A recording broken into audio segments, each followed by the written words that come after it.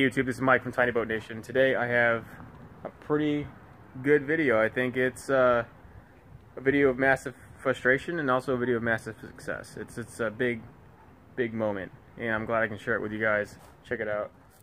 Alright guys, so I do my leak test, and everything performs great, except for the back. I left the back alone because I knew there was some nonsense. I didn't paint it because I knew there was some nonsense going on here. And so, aside from the broken rivets, which is whatever it is. The seam down here is busted and cracked. And then slight cracks all the way, and then another big, huge crack down here. Well, it's not huge. I mean, well, it's, it's, it's pretty big. It's in need of repair.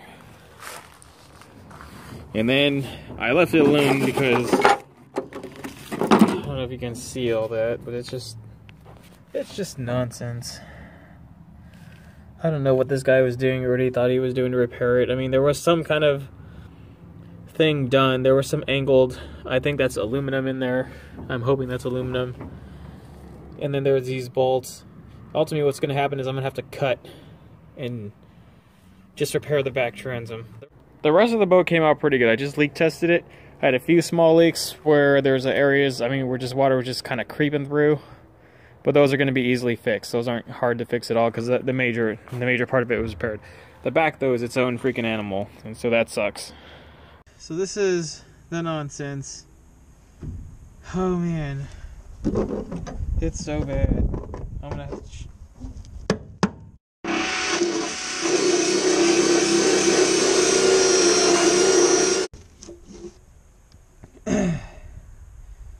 this guy is a serious toolbox of a person.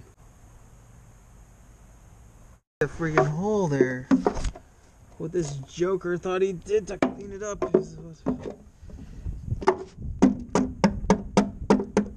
You know, previous owner of this boat, karma comes around. Karma comes around.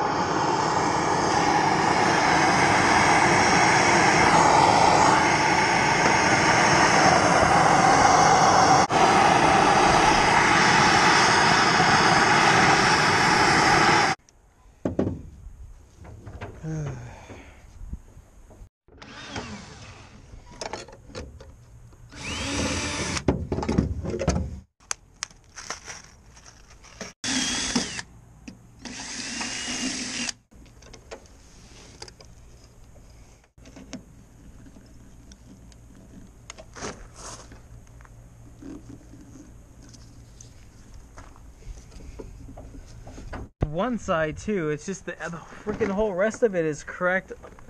Not that bad, but it's still pretty bad. I mean, at least he tried to aluminum. I don't know. I don't know what to do about this. Well, I do, but it just sucks. I'm gonna fix it right now, though, for sure. All right, guys. So here I really sanded away with a wire brush all the oxidation and the contaminants and all that bondo and whatever he used to seal it there gone. And so Right here, I heated it up with a torch and you know the aluminum started to really bend. It really started to expose how bad of a gap there actually was. And when the aluminum was hot enough, I pushed up with a hammer and I pushed it flush. And then I was able to uh, really, really clump in the uh, brazing material. And um, that's what the, the finished product looked like. And uh, it really was a lot of rods, like two rods I wasted trying to get that through until I figured out I could just bend the aluminum once it started to flare up when it got heated because it's going to contract and expand. But it was pretty awesome. This guy, I mean, he did use some brackets on some parts of the weld on the seam where it went, but that was the end result because whatever he tried to preserve it with, I think that's Bondo, was just crap.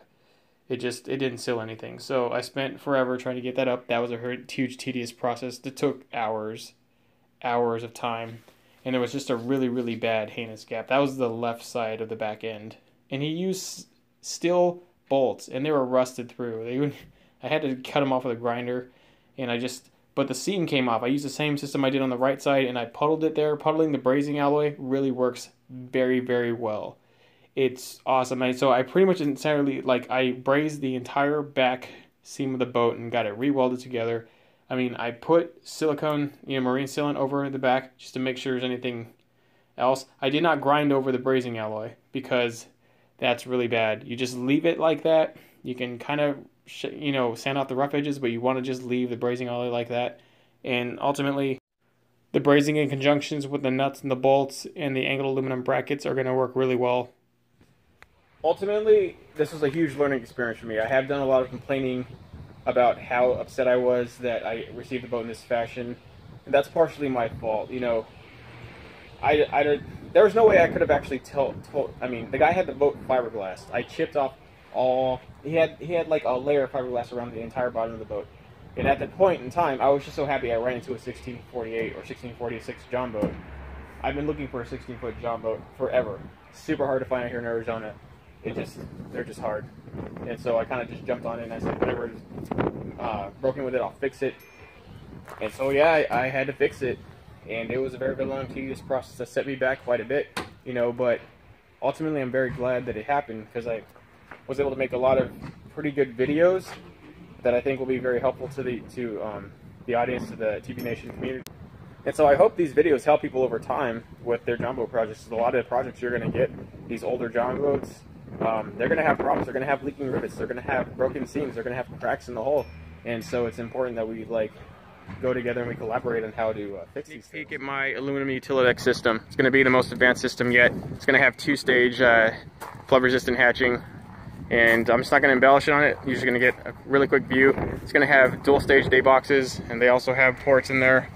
Um, they have plugs. This will be my trolling motor mount. I just have that piece in there just uh, to size it. It'll be, it's going to be an adjustable pedal mount. So I can choose the height of however high it's going to be. And it's, it's in there. Everything welded together very, very seamlessly. It's a pretty rad system. I tried my best to not overframe. I tried to do everything as well as I could. These will be gasketed around the knife edge and uh, the hatches are going to have like a loop over system so where they're going to sit here and so it's going to be very very hard for water to press through the knife edge and then I have bleed ports where the where the water is going to run off I have uh, sectioned out ports here because I have to I have to kind of drill through the very very top of the inserts to let it bleed out because if I had actually made these hatches as big as the actual inserts the deck would have been even longer and I was running out of deck space so this is kind of my solution for the inside runoffs and then I'm gonna have dome lights. I'm gonna have my my actual hatches themselves are gonna be the most advanced hatches I'm gonna be able to put out. And the whole system up here, the day boxes are gonna get rid of the shallow stow. And they're also gonna allow me, they're insulated and they're they got drain ports so that I can use them as live wells or coolers. So we're gonna have multifunction uh, inserts. These are gonna be how we compartment compartmentalize everything. The standard wooden DIY, you know, like compartments that can leak through and deteriorate are gone we're actually going to show you how to do these inserts and I can't show you right now but I molded these if you can see this slight lip up here I molded them in and that's like uh, epoxy I just wasn't too sure how uh, I wasn't too sure how like how well my remolding was going to hold up so I reinforced it with epoxy that's all that is that dripping stuff so that's just uh, plastic bonding epoxy and uh, the resting I'm going to do a DIY live well I'm slash bait well it's not now, Fire and Fishing has the best DIY live well out there on YouTube. He shows you how to make an actual tournament ready, like 30 plus gallon live well that you're gonna use for bass fishing tournaments. Like I'm gonna show you how to do a, a really quick standard DIY bait well. I don't tournament fish out here, I just do it for the fun of it because it's something I love aside from boat building. But I'm gonna show you how to do a really, really simple one that's that's way easier and way less tedious, but uh, it's also not as effective. But you can check it out. But this is what it is, guys. It's gonna come quick. I just already preserved all the wood everything I got to do. The compartments aren't completely hatched yet, but the top of it, and then I'll I'm gonna do a more in-depth wood preservation video also. A lot of good stuff is coming. Stay good out there, TB Nation. I'll be back.